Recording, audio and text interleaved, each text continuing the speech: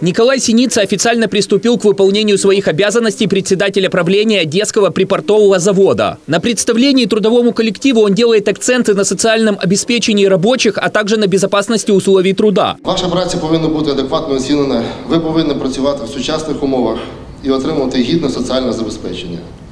І що найголовніше питання безпеки праці на виробництві повинно бути на вищому рівні.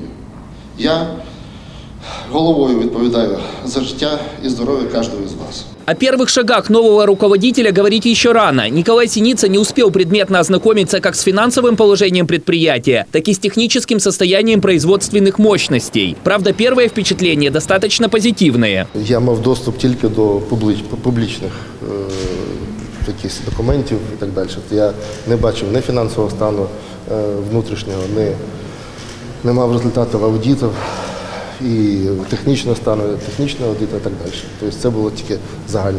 Е, Як е, на мій погляд, знову такий поверхностний, що техні, е, стан, технічний стан заводу дуже, дуже гарний.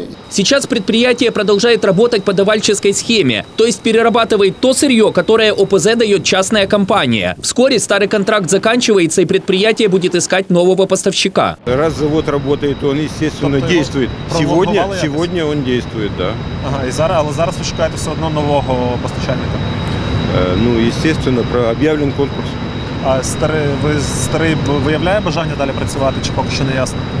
Мы надеемся, что будет конкурс и будут реальные участники, которые смогут обеспечить нам работу. Чтобы завод мог самостоятельно зарабатывать, необходима реструктуризация долгов. Летом прошлого года суд обязал завод выплатить «Нафтогазу» более 2 миллиардов гривен. Этим вопросом также займется новый руководитель. Глобально же судьба завода будет решена на торгах. ОПЗ вновь готовят к приватизации. По законодавству ОПЗ є об'єктом великої приватизації, і стартову ціну приватизації е, аукціону по продажу е, пакету контрольного акцій рекомендує радник.